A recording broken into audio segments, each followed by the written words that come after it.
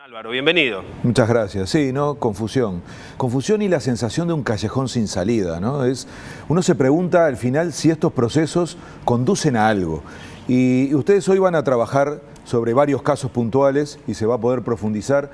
Y a mí me surge la pregunta de si estamos frente a la, a la suma de casos o a una tendencia. Si estos son casos aislados o estamos viendo que está pasando algo nuevo a nivel internacional, que al final no es tan nuevo, porque hablaban en la apertura sobre la idea del nacionalismo. Y no es lo mismo, ¿no? Separatismo, independentismo que nacionalismo, pero yo creo que el nacionalismo como telón de fondo está presente en la mayoría de los casos y es una tendencia mucho más amplia de lo que imaginamos. Y tiene mucho que ver con algo que en el norte empezó en la crisis del 2008.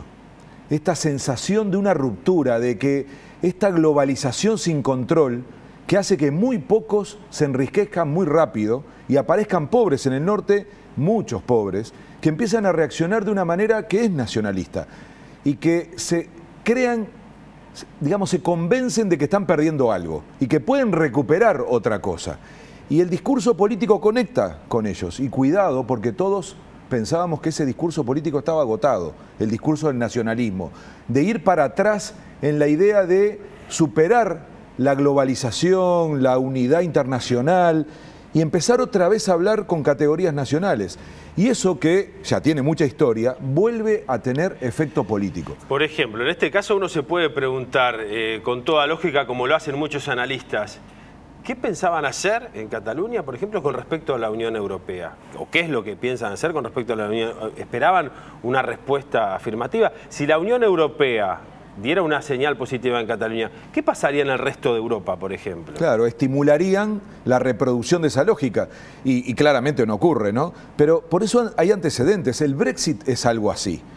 Tiene una especie de este, contradicción los principales temas del mundo hoy son globales y sin embargo aparecen estas tendencias nacionalistas que hacen que se fragmenten los estados y no se amplíen. Fíjese que es Europa es la gran contradicción porque al mismo tiempo que se ha intentado crear un bloque para ser más fuertes a nivel internacional, surgen estas lógicas nacionalistas que hablan de volver al Estado-nación, incluso más chico, como el caso de Cataluña. Entonces, pero no, no lo miremos solo en Europa. ¿eh? Eh, el discurso de Trump es básicamente esto. Claro. Él habla de nacionalismo, de proteccionismo, y entonces va contracorriente de los últimos 30 años, y sin embargo le va bien electoralmente. Y este es el gran desafío que hoy tiene la política. Es un discurso político que además apela a algo tremendo, que es el miedo y en parte también al odio. Cuidado. Nosotros y ellos. Siempre hay un nosotros y ellos. Hay una, una idea de hablar de esto lo nuestro, esto nos pertenece, somos de acá, versus la otra idea, los que no son de acá. Y aquí aparece un fenómeno clave, que es las migraciones y los migrantes, que son quienes al final aparecen como los culpables. Y aquí está la gran mentira, porque los migrantes ni en Europa ni en Estados Unidos son culpables de nada, al contrario. Sin embargo, la gente cree eso, una gran parte de la población cree eso.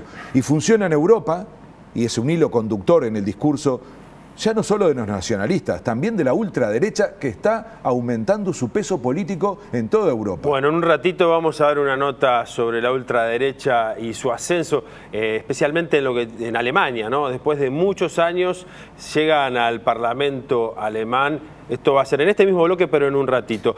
¿Qué me puedes decir respecto a la situación en América? ¿Vos ves eh, algún vínculo que pueda surgir movimientos de este estilo en nuestro continente? Claro, lo que pasa es que los estados-nación en América Latina son relativamente jóvenes. Mm. Este, entonces, no hay una discusión tan fuerte con respecto a la identidad y con respecto a los nacionalismos. Hay casos puntuales. En Brasil se acaba de dar una especie de reivindicación de ese estilo. Pasó en Bolivia con Santa Cruz de la, Sierra. Es decir, siempre hay un componente vinculado a una parte de la sociedad o una ciudad que se siente que está dándole a los demás más de lo que merecen. Un factor económico, muchas veces, en el caso catalán también podría haber un factor económico, e incluso algún factor fiscal con el Principado de Andorra y la posibilidad de que España a partir del año próximo acceda a los datos fiscales de las personas más ricas de Cataluña. Si se transforma en un Estado independiente, España no podría acceder a los datos de Andorra. Muchas veces hay algo comercial, hay algo económico. no solo ahora, en muchos procesos independentistas, ¿no? Sí, sí, incluso ponemos, por ejemplo, Italia, el norte y el sur. Es decir, esa imagen de vuelta, ¿no? Del miedo, del odio, de no darle al otro lo que no merece. Entonces, yo creo que hay que separarse mucho de eso y hay una gran contradicción. Este, y yo creo al final que la historia va a demostrar que las fronteras no tienen sentido. Mm. Este aparatito, la tecnología y la voluntad humana, humana no tiene límites y, por más muro, recuerden el discurso de Trump y el muro en relación a México. Claro. Es decir, la idea de los muros físicos y la idea de limitar la migración es una idea muy antigua y sin embargo no funciona, no funciona actualmente, repito, por la tecnología y sobre todo por la voluntad humana de migrar, de recorrer el mundo, de salir de su realidad. Los europeos tienen que hacerse cargo y los norteamericanos también, de que el fenómeno migrante no los excluye, no tiene que ver con algo ajeno a lo que ellos mismos provocaron. Entonces, hay detrás de esto una gran hipocresía. Ojalá estos discursos empiecen a tener menos resultado político, lo están teniendo, y cuidado con subestimarlo. Y también eso nos lleva a preguntarnos si en Uruguay, un país que tiene una escasísima vocación nacionalista, tan escasa que somos un país que no tiene nombre.